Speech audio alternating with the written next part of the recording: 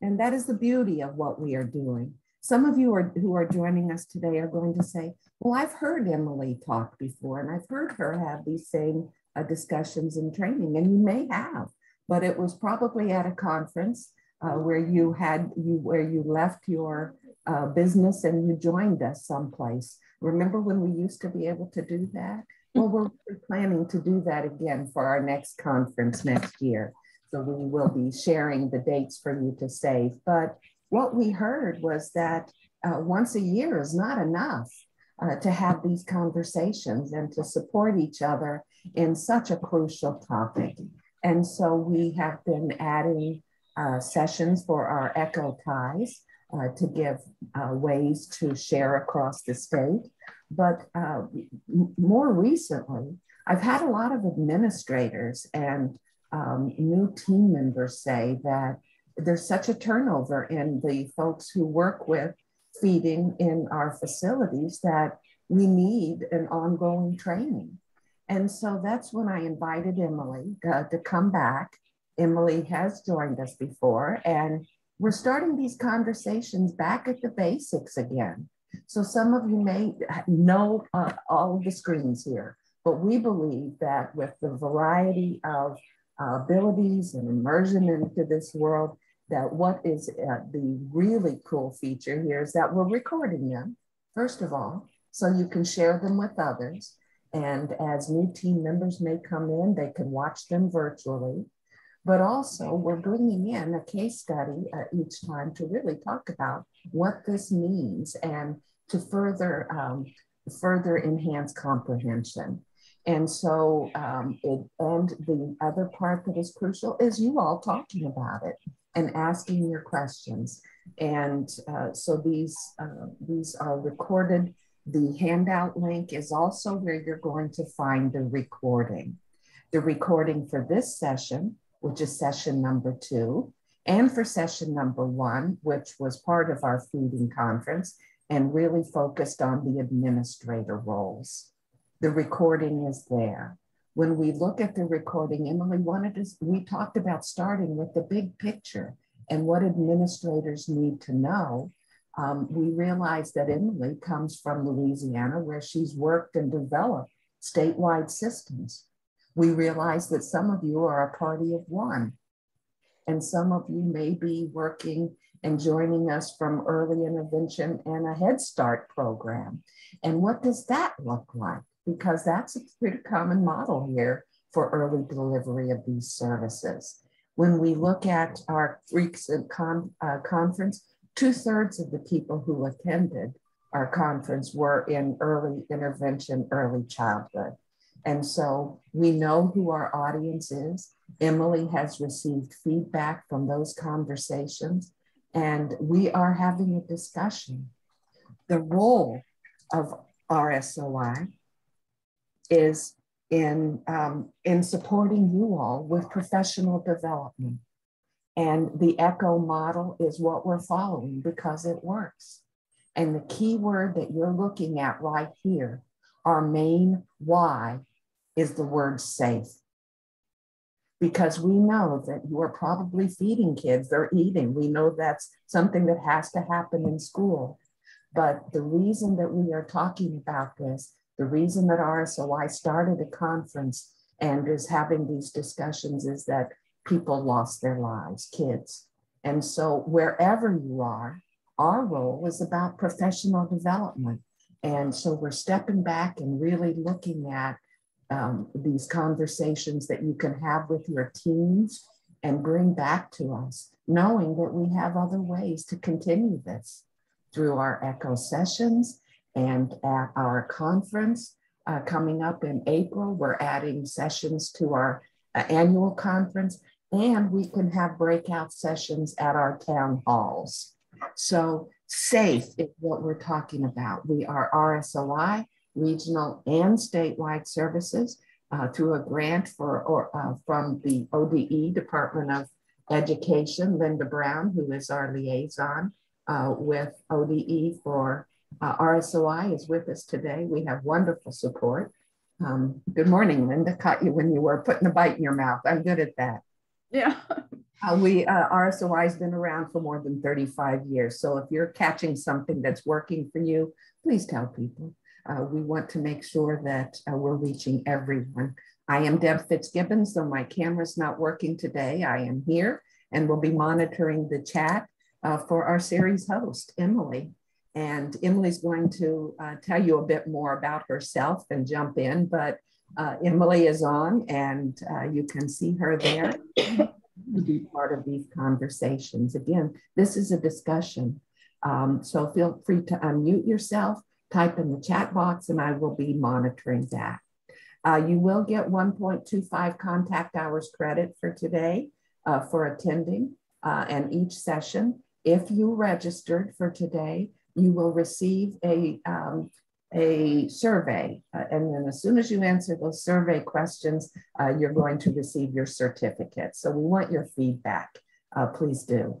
Again, the next town hall for state for a therapist is January 10th where if we choose to, we can have breakouts and continue these discussions. Also mark on your calendar for our next course, number three, uh, using a team approach. Um, and it, uh, that's on January 20th. We are on Thursday mornings from 8 to 9.15 uh, Pacific. Um, I am going to stop sharing my screen, uh, just giving you a bit of an overview of where we're coming from. This is a discussion. And we are so thankful to have Emily Homer as part of our discussion and uh, leading that. Emily, welcome back to Oregon. Okay, so I'm not seeing my screen. Do I need to reshare it? Uh, you do, because I okay. kicked you off with mine. That's I do sometimes, but now I see your screen. Okay. Is everybody else? Are we good to go? Okay. Let's okay. All right. Well, you know, thank you for having me back. And I have to say, I'm super impressed that on the day before your holiday begins, you're here joining me to talk about this. Uh, so that's that's wonderful. It makes me feel like this is something you're really interested in and that it's important. I kind of flipped the name of my session for today because in the last three or four weeks, I've, I've gotten some new information that I wanted to share with you. So I changed it to pediatric feeding disorders. What does it mean for school-based services? And so that's what we're, we're basically talking about the same thing, but framing it a little bit different. I think you're pretty familiar with my disclosures. I've shared those with you many times. Um, so in the past, and what we typically, when we talk about it, we use the term swallowing and feeding disorders to describe students who need these services in our school setting. It is a very clunky statement, I have to say. When I'm writing, it's a lot to type in. Um, but but what were swallowing and feeding disorders? Well, they included the children that have dysphagia, of course, and that's where that safe piece that Deborah was talking about comes in: the oral, the pharyngeal, or the esophageal phases. It also talk, refers to children who fail to master self-feeding skills that are typical for what their developmental level and, and is and that they're not using developmentally appropriate uh, feeding devices. Um, you know, we, we see our, our three to five year olds that sometimes come to school still drinking out of a bottle. So that would be a child, you know, that would be a real red flag for a swallowing and feeding disorder. Um, these children also often experience less than optimal growth or have behaviors that result in a limitation of the foods that they eat, food aversions, feeding jags, and things like that. It's also an effect on their weight and nutrition. We find that the delays or the disorders in their development result in uh, weight and nutrition deficits. Uh, these children often need special equipment, such as special bowls and cups and utensils, maybe positioning uh, adaptive chairs and things. They may have sensory concerns that limit the texture, taste, temperature, or color of the foods that results in a limitation of the foods that they eat at school. And they often need someone to assist them with eating, and that may be directives as to food choices or actually feeding them. So these are all the children that when we think about swallowing and feeding, this is what we've typically been talking about when we use that term. And some people say swallowing and feeding, some people say feeding and swallowing, but that's typically what we've been using. Well, there, there's some change in the air. Uh, the World Health Organization has um, has an international classification of functioning disability and health where they classify disorders. And they have now added pediatric feeding disorder as to one of their classifications. And it, the way they define it is an impaired oral intake that is not age appropriate and is associated with medical, nutritional, feeding skill, and or psychosocial dysfunction. So it's a very succinct way of defining pretty much what I just talked about in the previous two slides but its focus is a little bit different. And so I want to go, I want to talk today about that, about pediatric feeding disorders and how they compare with what we've been doing, but also what do they mean for the schools and what does it look like in the schools. Um, so we're going to learn what it is and how it is identified. We're going to determine if it's different from swallowing and feeding disorders that we've been talking about for many years now.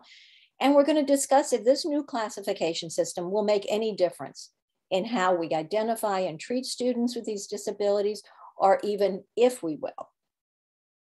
So throughout the, and this is very important for me to say, throughout this presentation, some of the information I shared is taken directly from a wonderful article that I really recommend you accessing uh, by Goday and Associates on pediatric feeding disorder, consensus, definition, and conceptual framework. It's just full of really great information. It's also taken from feedingmatters.org. I know you're all probably very familiar with Feeding Matters and uh, the section, What is PFD? And of course, we know that P Feeding Matters was very instrumental in getting this new classification. And it, of course, Feeding Matters is an organization by parents and for parents as a support. And they really were finding a need in getting a specific classification for these children and what they go through.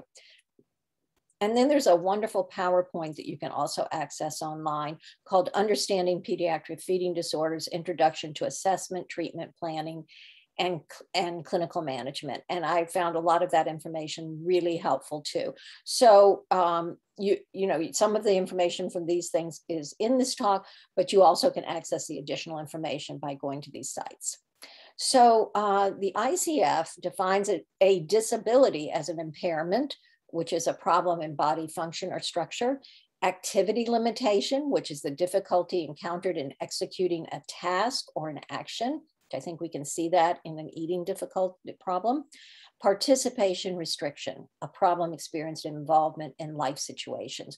So when we talk about the children in our schools that have swallowing and feeding, you know, they often have an impairment, an activity limitation, and participation restriction. So the ICF framework emphasizes holistic understanding of the physiologic and functional impact that pediatric feeding disorder has, including the impaired mechanisms, the environmental barriers and facilitators, and an impact on participation in da daily family and community life. So these are this is the picture, the schema that they're using. The uh, the four the pediatric feeding disorder in the middle and the four domains on the side. And so we're going to talk about each of these domains. And you're going to find as we talk, you're, you're really going to be able to plug in your previous knowledge and make it fit into it. I think they did a nice job of taking all those pieces and parts that we've been talking about and kind of compartmentalizing them a little bit. Um, the criteria they're using right now is a disturbance, in oral intake of nutrients inappropriate for age, lasting at least two weeks and associated with one or more of the following. And I, I think that two weeks comes as um, because a lot of the focus with feeding matters is with infants to two or three years old. And so if an infant is experiencing these things for at least two weeks, then, then it's a classification. In the schools, our children will be way beyond two weeks. But it's associated with one or more of the following of those four domains. So we're going to start by talking about the medical dysfunction, okay? And the medical dysfunction is evidenced by impaired structure or function of the GI system, the cardiorespiratory system, and neurological systems that give rise to dysfunction through several mechanisms, including cardiorespiratory compromise during feeding, aspiration or recurrent aspiration pneumonia, aerodigestive disease, primarily in very young children, and neurologic impairments such as cerebral palsy. So I think when we think about our children in the schools, we often can plug in a medical dysfunction. Uh, okay. So dysphagia itself would be a medical dysfunction. Uh, and so who helps to assess and treat the medical factors associated? Well, of course, it is the primary care physician primarily. They're the ones who are responsible for the initial identifying that this child may have a pediatric feeding disorder. And then they often have to facilitate referrals to other specialists. Um, because pediatric feeding disorder is very complex, it may require several subspecialists.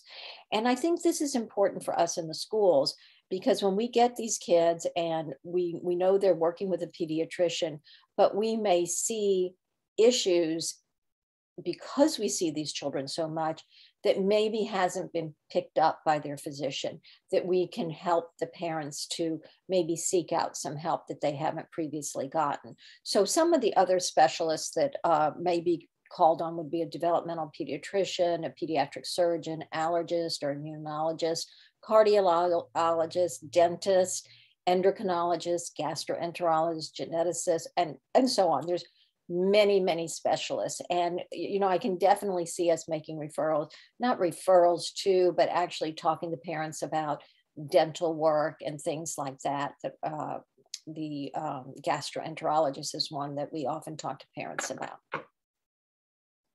So, what is it that the physicians do?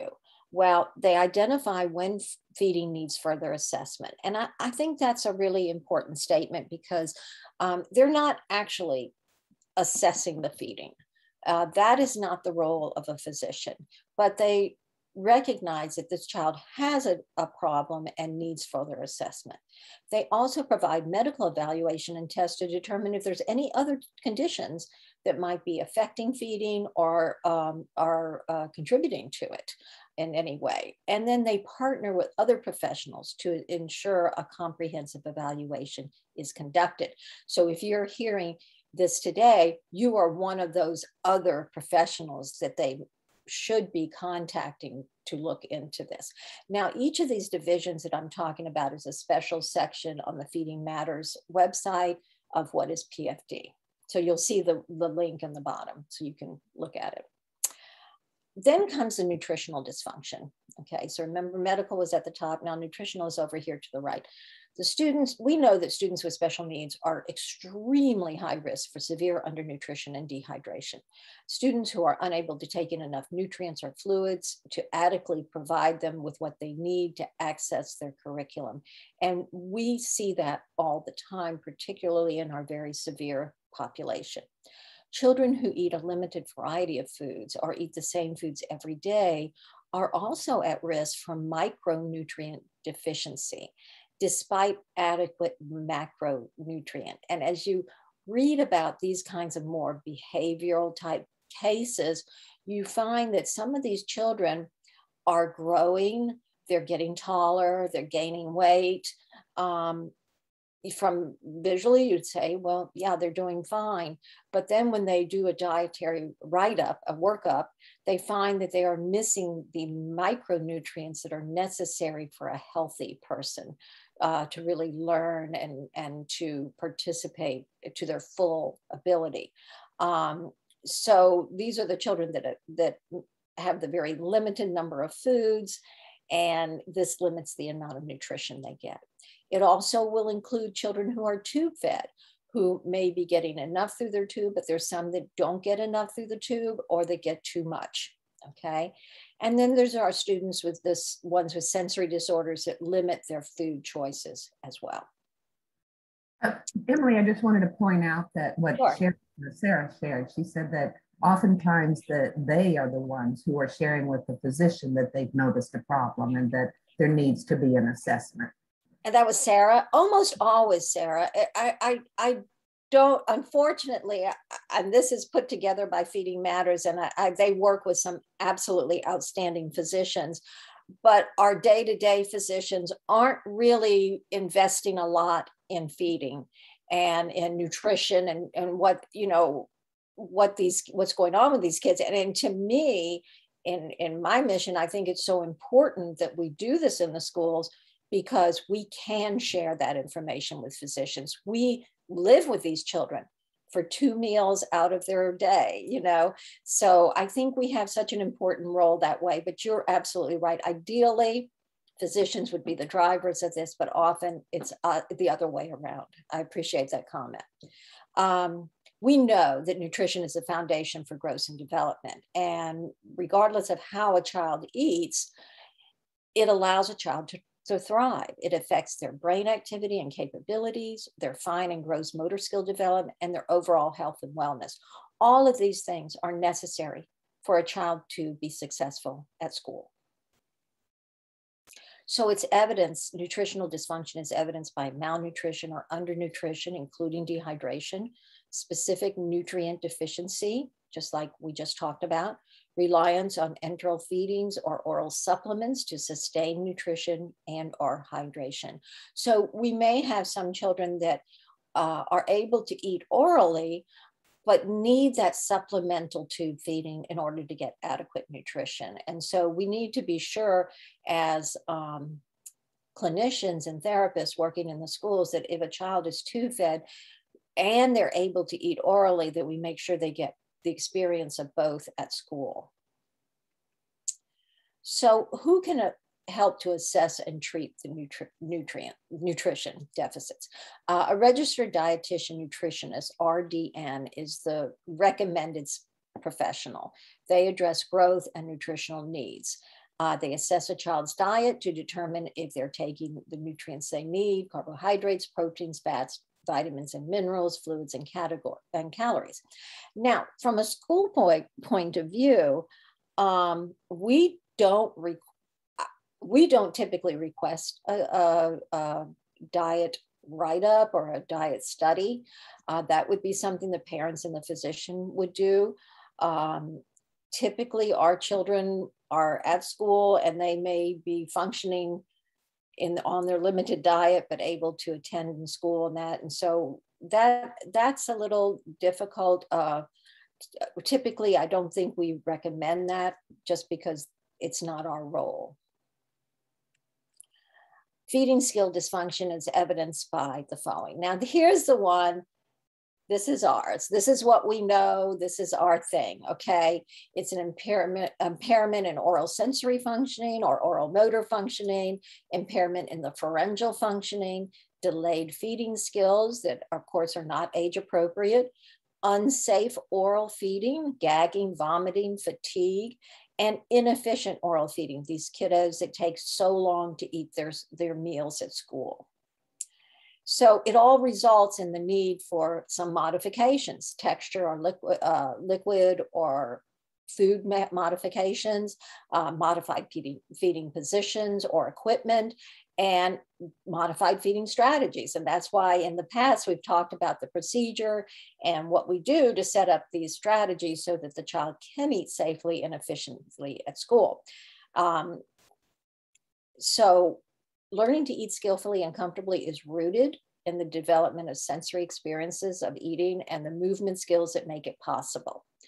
Uh, feeding skills and abilities include social, communication, and interactive skills that integrate with meal times. So it's not just a spoon to a mouth. It, it's really everything. It's communication, it's social skills, it's um, the motor skills, it's everything. So, who helps to assess and treat the feeding skills? Therapists with specialized skills in pediatric feeding assessment and management most often include speech language pathologist and occupational therapist. In addition, the physical therapist will assess positioning needs. Each specialty has expertise in one or more areas and may have participated in advanced coursework and training programs that provide them with an understanding of how to combine observation and treatment options in collaboration with the other professionals. So we know that as specialists, we you know that that we we may not even consider ourselves specialists, but we know about feeding and swallowing disorders. We've had some training in it, but we know that in order to really continue to treat this, we need to continue that professional development. We need to learn more and more about providing safe feeding plans for children, for treating their uh, feeding disorders, and really addressing it. As we can see when we talk about this new PFD, it's very broad. There's a lot of areas that will need to be addressed. And so that's going to take a lot of uh, training for us to know exactly how we can help these children while they're at school, what we can do and what we can't do. So there, here's the things that therapists uh, working with uh, feeding skills domain uh, do. This is this is what they do, and so um, they collaborate or assist with swallow studies. Now, this is something I really advocate for if you work in the school system to attend the swallow study when you make a referral for one so that you can help guide the study, so that you can see what is happening, so that you can help educate the parents during the process. Really important. So this collaborate or assist with swallow studies, I think is so important that the schools really get into that and make that part of their program improve skill movement of the mouth that leads to safe, efficient eating and drinking, help overall movement coordination skills that support feeding development and develop better control of a child's body. Uh, we know that the whole body's involved in this. Help develop an overall movement coordination skills that, um, oh, I'm sorry, I already did that one. Provide strategies for improving coordination and overall muscle tone with a child's oral facial muscles and improving articulation. And we know that when we work on the child's oral facial muscles, uh, probably not as much for articulation, but for for eating skills, for feeding, for chewing and swallowing, it does make a difference with these children and they do improve as long as it's intense and consistent. Um, and then we focus on uh, fine motor skills to develop coordination and more the more precise movement between eyes, shoulders, arms, and hands. But that's not all therapists do. We also strengthen head and trunk control to provide the foundation for specific movements of the mouth, chest, abdomen used for breathing, eating, and swallowing. We determine if oral motor and or sensory oral sensory problems are contributing to the child's feeding disorder and then we propose strategies for improving sensory experiences of eating, strategies that incorporate all of the child's sensory senses in an organized way during meals. And we help children increase their comfort level when eating a wide variety of different foods and textures. So if you go home tired at night, this is why, these last two slides, because you are doing all of these things to help children be safer and more efficient at school. And then we get to the last domain, which is the psychosocial dysfunction. And I think when we look at the term swallowing and feeding disorders, um, that might be the piece that wasn't included in our definition as much is the psychosocial part. And what that is, is the active or passive avoidance behaviors by a child when feeding or being fed inappropriate caregiver management of child's feeding and or nutrition needs, a disruption of social functioning within a feeding context, and a disruption of caregiver-child relationship associated with feeding.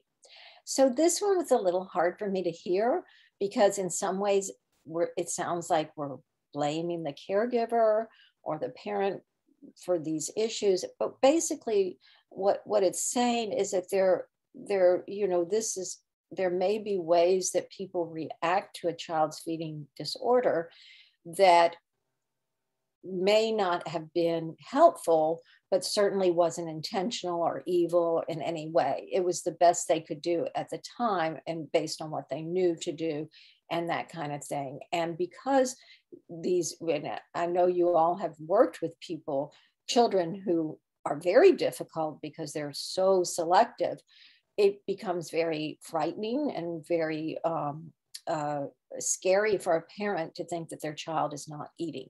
And so all of that can add to stress and distress. And I think that's why they added this psychosocial dysfunction piece. Uh, so it manifests itself in learned food aversions, stress and distress, disruptive behavior, food over, over selectivity, which means that they are picky, they only eat certain things, a failure to advance to age appropriate diet despite of the adequate skills. So some of these children have adequate oral motor skills and, and swallowing mechanisms, but they're not advancing for a psychosocial reason. Grazing and then the caregiver use of inappropriate strategies. So when children are exhibiting challenging mealtime behaviors, they are expressing that eating is unpleasant or difficult for them. These behaviors can also often lead to caregivers and families feeling confused and frustrated, affecting the caregiver child relationship, as well as the child's thoughts and behaviors toward feeding. So that's how they explain it. Um, so when I talk about these, not in the context of PFD, but in the context of swallowing and feeding, which is what I've been doing, I and I get to this, it to me, it's real important to go back to that medical piece that if eating is unpleasant or difficult for a child, there's probably a medical piece contributing to it. And so that's where you have to look at the whole framework and say, well, okay, I'm seeing this, but let's look at that medical and make and see what's going on that way. So feeding specialists can work with the family and the child to better understand the reason for these struggles and to help improve the child's behaviors, feeding behaviors to improve acceptance of foods and drinks. So direct feeding therapy is what they're talking about here. This will also include modifying caregivers' responses to the child's behavior to promote positive and successful feeding interaction. So I think that last statement is really important because um, what we found in my district is that when we worked with these children that had these really severe behaviors and we tried to progress their diet and move them to a greater variety of foods without 100% um, parent involvement we were not able to see very much progress. So this type of uh, pediatric feeding disorder really in, in, it, it is essential to have the caregiver working with the feeding specialist. So who is it that helps to assess and treat psychosocial dysfunction? Um, they say various professionals um, can treat it. Uh, mental health providers, uh, typically licensed professionals who can partner with other professionals on the treatment team to provide support for the child and the family. So the way I interpret this statement is that you you do want to pull in those mental health specialists, uh, but it's also going to take the feeding team and to also address it as well. Um, and in most cases, it could be a psychologist, a behavior analyst, analysis, uh, counselor, or uh, who all have special training in feeding. Uh, social workers can also be very helpful in helping families to connect with resources in the community that will help them to be uh, successful with feeding and with some of the other concerns. So what they do, they evaluate how both the caregiver and the child are responding to the feeding disorder. They evaluate mealtime behaviors and caregivers' responses to those feeding behaviors they assess why the behaviors are concerning. Um, so probably they're looking at those things that I've talked about, the medical things as well. They determine how to motivate families and children to participate in the feeding process using various evidence-based behavioral strategies. And they identify strategies that promote positive mealtime experience based on evidence and research. Um, so this is the role of the psychologist or the behavior analyst, analyst, why can't I say that word? Analyst. Is, oh, anyway, um, you know what I mean. Say it for me. Analyst. Analyst. That I was stressing the wrong. Uh, uh, yeah. Thank you. Analyst. Oh, say it again for me. Analyst. Analyst. Thank you. Okay. So all of this proposed diagnostic criteria is in, in, the absence of cognitive process consistent with eating disorders and apparent oral intake is not due to a lack of food. So these are not the children that do not have, that are hungry and do not have food. And it's, it's congruent with the cultural norm. So you have to look at both of those things.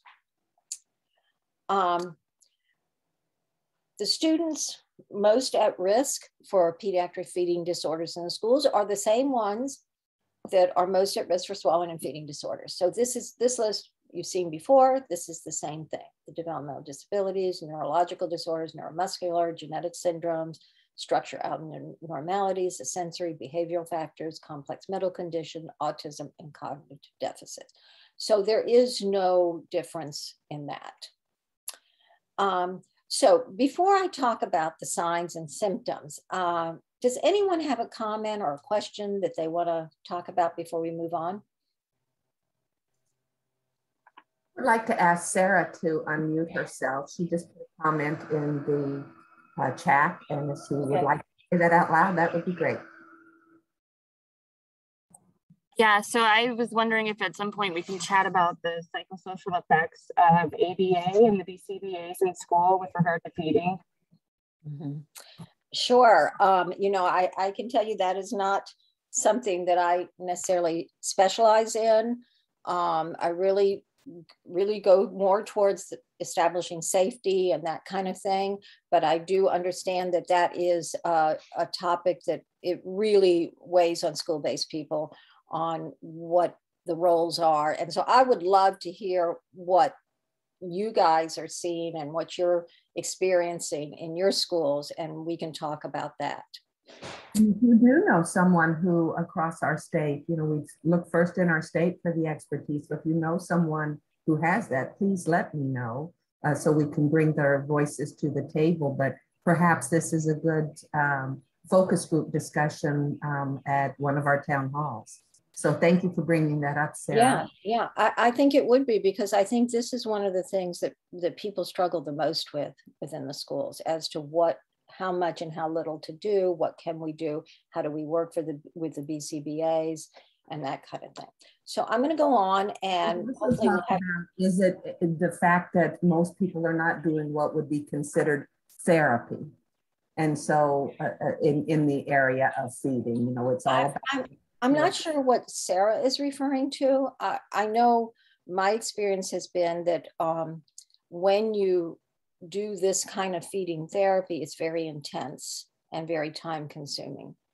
Um, I, I, I, don't, Sarah, what were you, what were you? We've experienced some harmful practices with regard harmful. to ABA and the, and the BCBA's um, implementation. And we have um, sort of gone round and round um, with it and we are really trying to strenuously advocate that it is not part of our students' um, school experience with regard to feeding. And uh, uh, by and large, it's been successful, but the problem is that we don't know who is receiving those services until we see it and we see that it's harmful, right?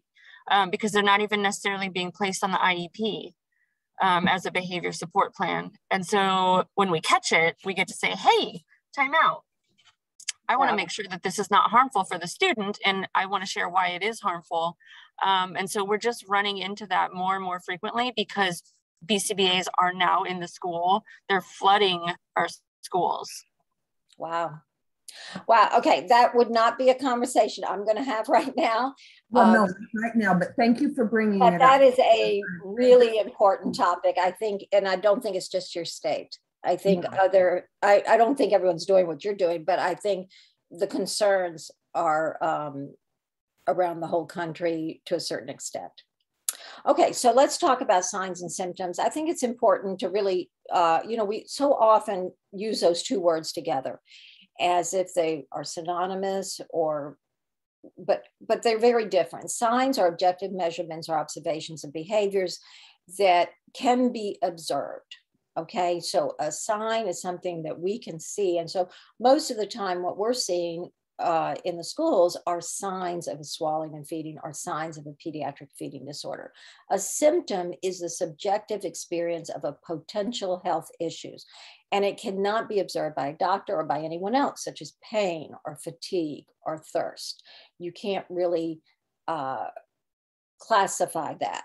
So we're going to talk about the signs because that's typically what we see. And um, so we may observe repeated respiratory infections, history of recurring pneumonia, choking, eyes watering, wet gurgle voice after meals, weight loss, difficulty chewing, prolonging feed time, open mouth. All of these things that we've talked about so much are the things that we see in the school setting that really give us a flat red flag saying this child has a swallowing and feeding disorder and now might use the term pediatric feeding disorder. Um, so the prevalence of pediatric feeding disorder in children with disabilities is very high.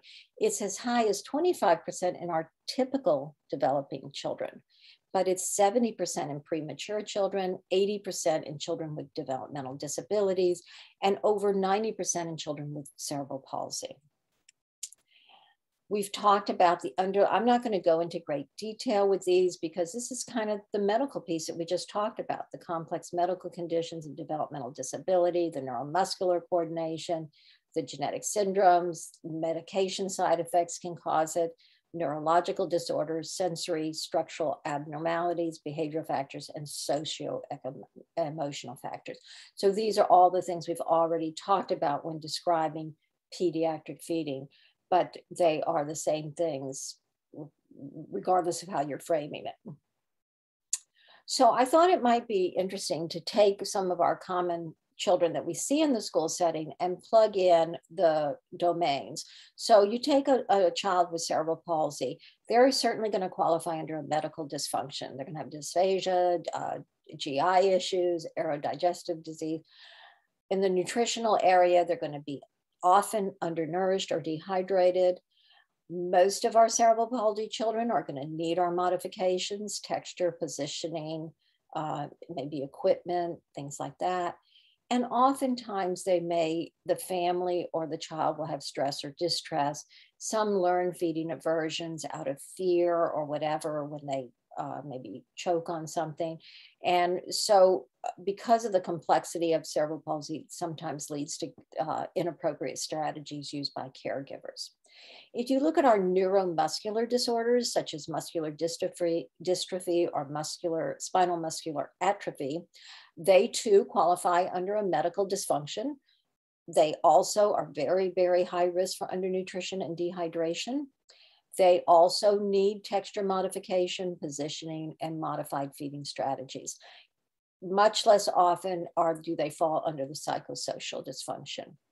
And then our various syndromes such as um, Down or Mobius, they would be probably all of these.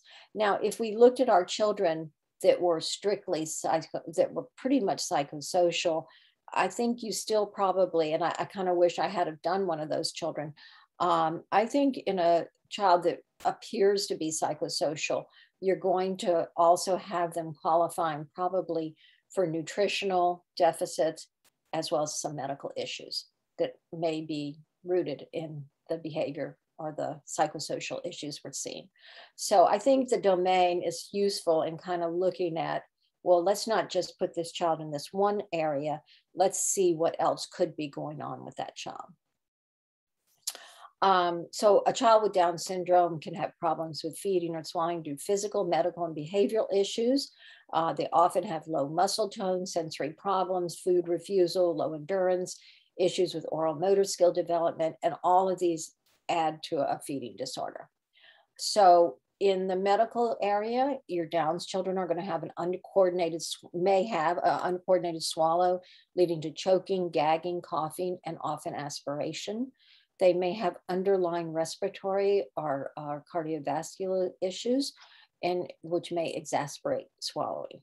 Uh, in the feeding skill area, their low tone and poor oral motor skills uh, result in poor lip closure and low muscle tone, and that results in chewing difficulties. They may have issues with oral motor skill development and sensory problems. Uh, in psychosocial, it's, it's fairly common for a Down child to have some food refusal and low endurance. All of those things result in dysfunction in nutrition and dehydration for those children. Uh, same with children with cerebral palsy, they're going to have many medical conditions, the oral pharyngeal as well as the esophageal. They're very high risk for all of these things. And these are the things you would want to really take a look at with these children to make sure they're all addressed, especially the esophageal issues that need a physician, because that could really inhibit the progress we can make in the schools. Um, what I'm hoping is that with the with this new classification system, it will provide a new legitimacy for students with swallowing and feeding disorders. Um, it's resulted in some new ICD-10 codes uh, that are really a little more applicable to what we do in the schools. So they have the three, and there's others. So I really encourage you to visit the site. Uh, just feeding difficulties unspecified, and then pedi pediatric feeding dis disorder acute and pediatric feeding disorder chronic. So most of our children in the school settings will fall under pediatric feeding disorder chronic. Uh, so if you claim for Medicaid in your school districts, um, you, you know that uh, speech pathologists and occupational therapists and physical therapists can bring in significant dollars for their school system to help treat these children that are very expensive for districts to um, to address. And that was the whole purpose of medicaid billing in the schools is to help them cover the medical cost of treating these children in the schools. So with these more specific uh, codes I feel that we will be able to really get reimbursed for the evaluations and the therapy that we do with these children uh, at, a, at a larger uh, rate, which will result in more money for the school districts, which hopefully uh, results in hiring more physicians, uh, therapists. So um, it provides a legitimacy to the services that are provided for children with pediatric feeding disorders in the school setting, in my opinion. Uh, and there is an increased responsibility for school administrators to recognize the disorder and acknowledge the risk to students at school, including the identification and treatment in their special ed programs. That is my hope.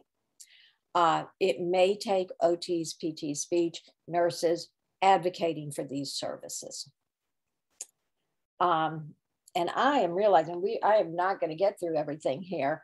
Um, so I we may have to pick this up somewhere else. I do have still 10 minutes, but I did want to talk a little bit. But uh, I want you to know and understand that these are the three uh, disorders of feeding that are recognized both by. Um, Sorry, Emily, we have yeah. uh, reserved until 9.15 Pacific.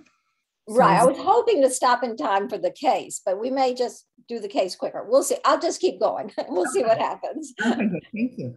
Okay, so let's talk quickly about ARFID. This is this is one of the reasons they wanted to get PFD so badly is because many children were being uh, coded as ARFID or being turned down because the only code really that applied would be ARFID, and that is an avoidance restricted food disorder. And basically, what ARFID is, is uh, a child who has the normal structure and function for, for feeding and swallowing, but don't eat.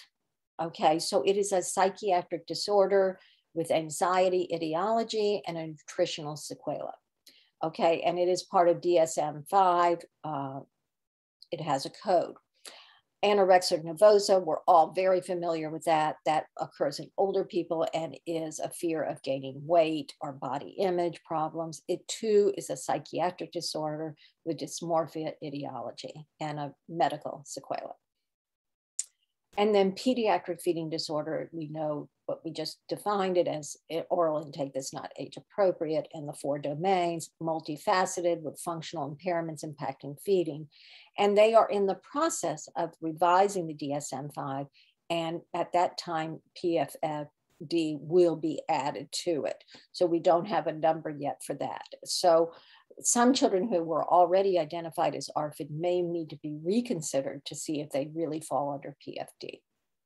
I thought this was part of that PowerPoint that I referred you to. It's just a great way to look at it. So you can see with ARFID and pediatric feeding disorder, it's generally younger children, older with the uh, anorexia. And ARFID is simply the nutritional comp compromise, whereas feeding disorder includes the medical and dysphagia and as well as the nutritional. Um, so it does need to be addressed in the school.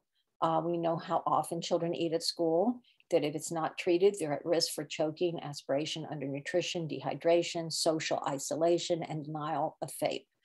Uh, the beautiful part is that in the school districts, we have multidisciplinary teams available to address this right there built into our school system. And so in, in the keeping with the pediatric feeding, we can uh, work as a team um, to address this. Now, I quickly want to talk a little bit about on, uh, nutrition. Uh, we know that it's a big risk factor for these kids. And um, we know that the nutrition really falls mainly with parents and guardians, but that in order for children to really participate in their curriculum, they must be adequately nourished and hydrated. Um, so undernutrition is the lack of proper nutrition caused by not having enough food or not eating enough food.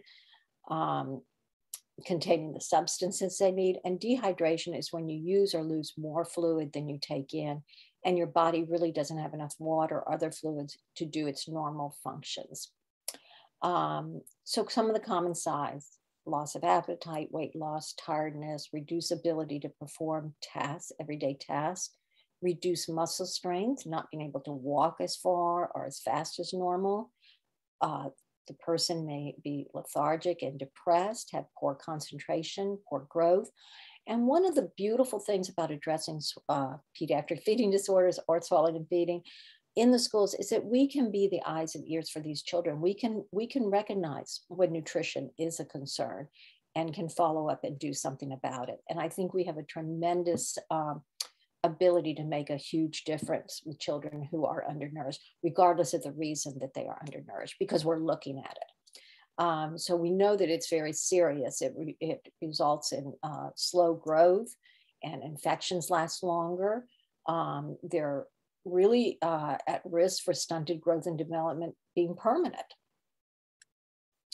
Um, so I've talked a lot about the CP kids and their role. We know that they're at risk for this. Um, they pretty much do all follow the same as the others, the growth failure, the immune function and all of that. So skip over that. Same with spinal muscular atrophy. Um, their most common problems are choking risk, difficulty conveying food to the mouth, and chewing difficulty. These really result in nutritional de deterioration over time energy, protein, and vitamin intakes were inadequate in a, in a study done. And underfeeding was highly prevalent with tube feeding, but also so was overfeeding. So uh, there needs to be the happy medium. We know the signs of dehydration, thirst, dry, sticky mouth, decreased urine, dry skin, no tears, sleepy or, or uh, lightheadedness, dizziness, rapid heartbeat, and breathing difficulties. Um, as a result, there may be involuntary muscle contractions and loss of consciousness, a drop in blood pressure, short-term muscle damage, and constipation. So what do you do if you suspect undernutrition or dehydration at, with a student in your school? First of all, contact the school nurse. The nurse will take responsibility for determining if it's an issue and talk to the parents. If it's determined that a child is undernourished, following the procedure that we've talked about in the past will be very helpful. So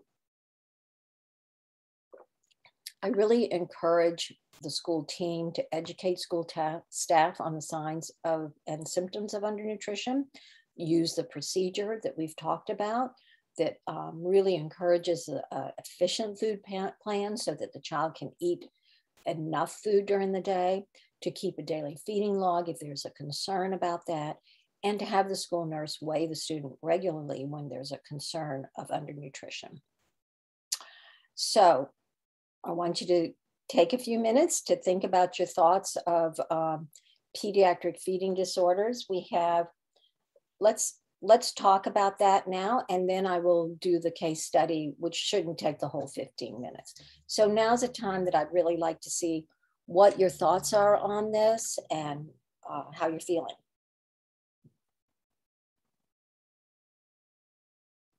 You guys are usually really good at sharing.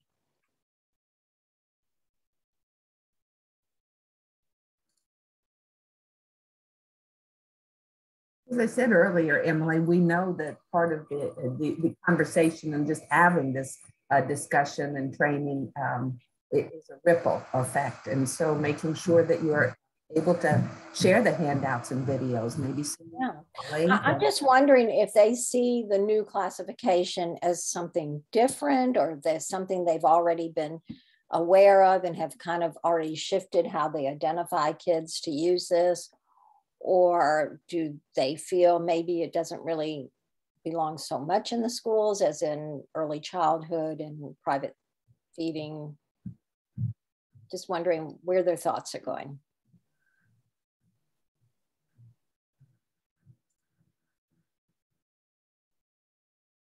Okay, then we will move on.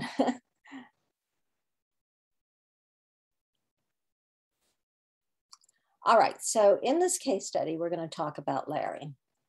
Okay, so I want you to meet Larry. Larry was a severely impaired student who is in a wheelchair and has very low cognitive and communication skills. He relies on an assistive technology device for very basic communication, as well as using some general gestures to, to communicate with his teachers and that. He had been in our school district for quite a while, but he had never been referred to the swallowing feeding team. For this, I really don't, I don't know why. Uh, because entering high school, he was entering a high school, and so he had been with us, but had never been referred. Uh, he was in a class for severe profound students and was staffed with a teacher and three paraprofessionals. They did not know Larry prior to starting the school year. Okay. However, the OT that was assigned to that high school she had known him from middle school and stated that he had a history of neglect in terms of cleanliness and care. So he was referred to the swallowing and feeding team because he was so uh, underweight. He seemed undernourished, lethargic, sleepy, wasn't urinating much. Uh, he was not uh, toilet trained, so they would change his diapers. And um, they just noticed that he just didn't seem to be doing well. Uh, so the swallowing feeding team began the process of identifying his concerns. The parents were notified, but offered they offered minimal information and often did not respond. So it took a lot of calls and a lot of trying to get to the parents to even get any response. They did find that the most effective method of communicating with the mother was the classroom teacher who sent a notebook back and forth to the parents, and then inconsistently the parent would respond to that the parent interview was never completed and, and the parent was never interviewed. So the team went on to do the interdisciplinary observation, which as you know is the clinical evaluation. Um, the SLP and OT did it uh, in the cafeteria with the student. The PT had already uh, positioned him to make sure he was in his chair. He ate in his chair and make sure his position was right. And the nurse was um, on consult. Uh, so the team really did not observe signs of aspiration or pharyngeal involvement. They did notice some minimal oral motor concerns that might make him a little more efficient when he ate.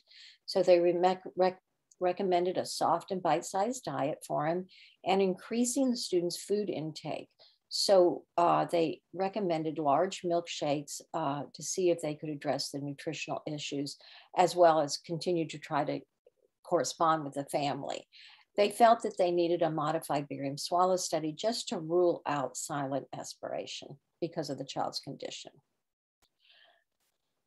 Larry was frequently absent, so he would attend two or three days of school, and then he would miss the next three days of school or four days of school. So when um, when he was at school and they were feeding him and um, giving him the milkshakes and he frequently would point to his uh, wrist at, for eating, which was a symbol for eating, uh, signal for eating. Uh, he, would start looking better and feeling better and interacting more. So the team really suspected neglect because he you, it just seemed to be making a difference, the food. Um, so whenever he gestured with the watch, they gave him food. He had many signs of undernutrition and dehydration, but really no signs of pharyngeal or esophageal dysphagia. He had weight loss. His clothing was very loose on him. He was tired, often put his head down on his um, arm in his chair. He had a, really a reduced ability to do his everyday tasks at school. So he, he just really had almost no energy to to use his device, his assistive device. There was reduced muscle strength um, that uh, he could barely lift his arms at times, a lot of thirst and dry, sticky mouth, and as mentioned before, decreased urine outlet, output. So the team recommended the referral uh, because they wanted to rule out the aspiration. But it took the mother over a month to agree with it. In fact, we weren't sure we would ever get that physician script, but eventually she did agree for the swallow study. And um, we accompanied them to that study. And what we saw was that he really had a perfect pharyngeal swallow. There were no concerns whatsoever. So he was definitely not aspirating. He did have a mild oral motor deficits, but his oral and pharyngeal, uh, his pharyngeal and his, um, that's a mistake, his pharyngeal and esophageal seem to be operating within normal limits. So Larry was clearly a case of undernutrition due to neglect. The school reported the parents to Child Protective Services. Uh, as you know, we are mandatory reporters. And the parents ended up enrolling him in a residential program where he was taken care of and fed. And, you know, the school staff that worked closely with him were actually sad to see him go, but were very relieved to know that he would be in this residential setting where he would receive adequate nutrition, he would be clean and taken care of. Uh, so we no longer had him, so can't update that, but from what we understand, he was really taken care of. So let's look at the four domains um, involved in um, uh, Larry. He definitely had the medical component, his severe disability. Uh, he had a nutrition. He was definitely undernourished and dehydrated at times. Uh, he had minimal feeding skills adjustments that needed to be made, but they definitely um, were adapted and it helped him to eat uh, more food more efficiently during school. And then he had that psychosocial piece where the caregiver was not able to really um, give him what he needed in terms of support with food. And we we don't know enough about that parent to know what they were going through, but what whatever it was, uh, that parent was not able to take care of this child. And so that would be the psychosocial. Now, where we fell short, um, I feel, in looking at Larry's case, is that, you know, we really should have called in the school nurse, which I don't have any record of that happening. Um, the school nurse should have been the one driving this effort. And um, instead, you know, the teacher tried and the speech therapist and the OT, the three of them worked together to, to make it all happen, which was good. But I think the school nurse really should have been involved. So we had a little breakdown in our teaming. And, and I think that's important um, to hear because um, schools are real places and they don't always follow the ideal list of what should and shouldn't happen. So um, I think we could have done better that way. Um, but because we were able to identify this child's nutritional and hydration deficits and dysfunction, he was able to get help, and that's really good. Um, okay, so that really brings us to the end of the presentation, and um, I'd really love to hear some comments.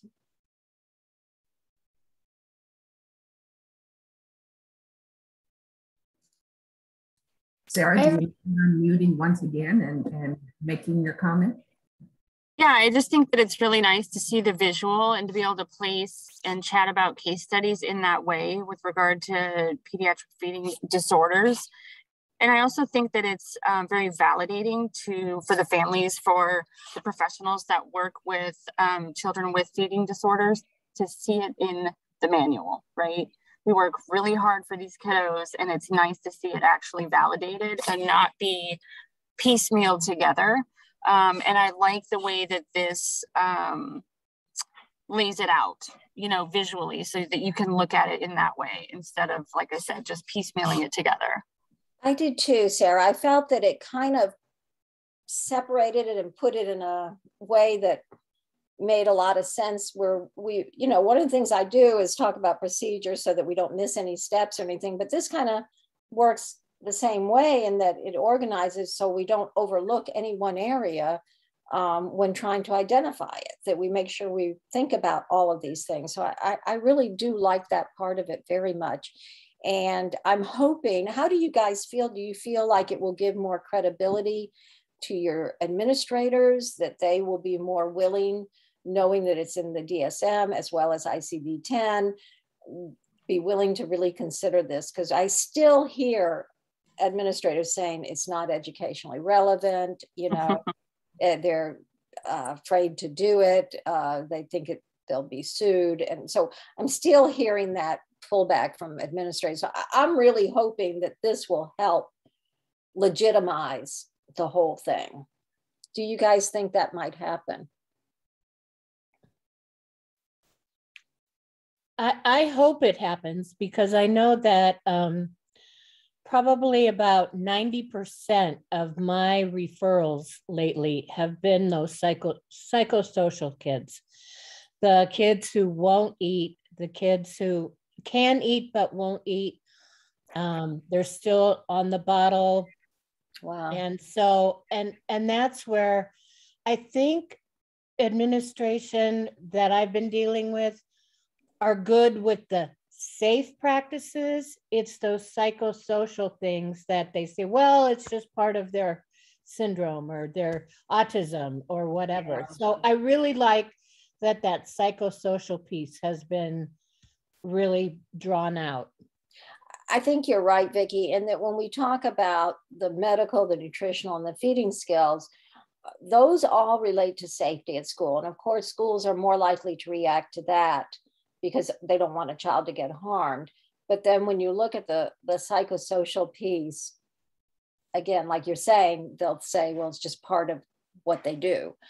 But when you break it down and, and they're eating only five foods all the time, that is not going to be a healthy child. There's no way, you know. So what this will do, and, and I, it's something I do uh, struggle with and I, I don't know if you you guys do because uh, it sounds like you have a lot of these kids uh, how you can make a difference progressing their diets. Have you had success doing that? What what do you do with these uh, psychosocial kids that are just food averse or um, have complete refusal or only eat specific foods what what I do in in my situation with the kids I work with is just you know keep offering keep but not pressing. And um and once in a while we get more where I'm having a breakdown. And I think it'll be good to um, have this to show is the parents are saying well they're healthy weight even though they might not be and, you know, all the kid is eating is Chex Mix and um, goldfish crackers and an occasional um, McDonald's French fry. You know, and right. it's like, but oh, he's average age. But when you look at that child next to a typically developing my one of my students is 10 years old we look at him and go um i don't think that i do think that it's having you know problems with his nutrition and weight gain and all that. Mm-hmm. so i mean i've got a a um a student that is 15 and is the size of a like a seven year old wow. And yeah and so it's like and that part of it is the parents just saying well if he'll eat this at least he'll eat yeah.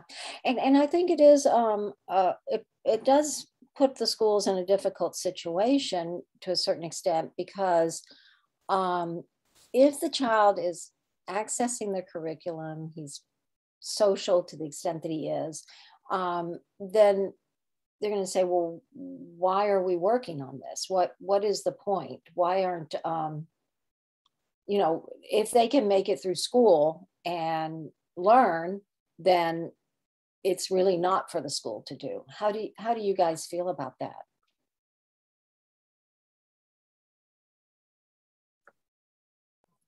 Well, I think we need to ask what access means. Does it mean they're parked out in their classroom? Does it mean that they're they have enough nutrition to be engaged, right? To um, go in their stander or to do the things that they need to do um, from a motoric uh, perspective. So I think we need to challenge, you know, the term access or um, education or you know curriculum. Um, it starts with nutrition and feeding. I mean, it's the first. I keep I say this over and over. It's the first thing we do when we're born, right? So regardless of where they're at, school or home, um, it's it's paramount, right? So um, you can't you cannot do anything else, whether it's just being parked out in the classroom or you know going to art class and you know direct selecting or using um, finger paints, right? I think um, I think we need to challenge that phrase or that word. Yeah, and you can't you can't access your your academics if all you're thinking about is food and being hungry. Mm-hmm. Um, so I think it's a, a basic, it's one of those basic needs that need to be addressed um, in order for our students to even get to, you know, that cognitive level of learning um, or participating in a, an activity at school. Right, and and one of the things I've seen with these these kids with selective diets is the meltdowns in you know like an hour after they eat or an hour and a half after they eat because they're hungry and but it's not time to eat and so um, i mean we do have a lot of behavioral meltdowns when the students are you know not getting the nutrition they need hmm. Now, is referral to medical something you guys do on a regular basis with these children to rule out any medical conditions that may be causing the food selectivity? I mean, I really believe strongly in that. And the literature, if you if you read it, often there's uh, gastrointestinal issues with these children that are classified autism you know and um, so it, it really takes a, a, team i think it's a difficult thing for schools to do um, to progress those foods without all this other information that they need you know and without support from the parents or the caregivers right and sometimes I feel like the schools are a little um, nervous to refer out to like private speech therapists because if they do, they might be responsible for paying for that because they should be able to support the student fully at school. But I don't see with this emphasis on psychosocial and the importance of it, um, I don't see how we can't, with the limited amount that um, school teams are able to, they're already stretched pretty, pretty thin um, the minimal amount of pa- parent contact and collaboration and teaming, um, these students with restricted food intake and different and diets really need people to be steadily providing exposure across the board. And at home, it's so important. They're eating dinner and you know how many days a week and on the weekends, and so that just that consistency and um, parent education, if it can't be done in the school, which I I I can't imagine it can be um, at a high level to support the efforts that we would be making. Um, I, I just worry that we're not getting enough referring out to private therapists who have feeding experience to support. Courtney, I completely agree with that. And we we really tried in my district to address it. And we after two years, we found that we were not making a difference. We weren't able to progress those children's diet because of what you said. You know, we have minimal contact with parents. We can't get parents to, they can't, we can't tell them to do anything at home. They have to decide to do it. Um, but one of the one of the things you said about the referral to a private feeding specialist, I think that that can be done. You just have to be very careful about the wording Okay. So you can't say, I recommend they go to a feeding specialist because you're right. Then the school system would, anything we recommend, we have to provide. You can say, and let me make sure I'm careful here, um, that uh, there sometimes are other paths you can take to help these children. You might want to look into are there any medical conditions? You might look into are there any special therapies that might help them? uh, because right now they're consuming adequate calories at school, but it seems like there's still issues, you know. So you want to just say, we're not really recommending this, but we're suggesting that there might be other things you could do. But you have to be careful. And, and Sarah, I saw you do thumbs up. So how would you word that? We chat frequently with the families and physicians just in general. And so we might we might ask the family if it would be okay if we chat with their primary care provider. I mean, we've already got the ROI, but we always give them the courtesy. And then we may chat with the primary care provider and say, this is what we're seeing at school. Um, what do you think? And might we take a look at, you know, a feeding referral or a, a barium study, XYZ, so that it's coming from the, the pediatrician and not from us. Yeah, yeah. I think that's good. I was going to jump in here too. Just, I mean, those steps are great too. And then you sometimes have situations where the parents won't sign the release of information. Um, and so we fall back on the legalities, the liability issue of that. And we've had at Salem Keizer a number of times where we've had to, you know, I, we lay it all out there for them of, you know, this is about health and safety. Um, you know, we are training lay people to, to do the feeding with your students, with your child. And, you know, this is not deemed safe in this setting. And, you know, I've had some pretty intense um, interactions with some of the parents who have been angry. But again, I remind them, you know, it's about your child's safety.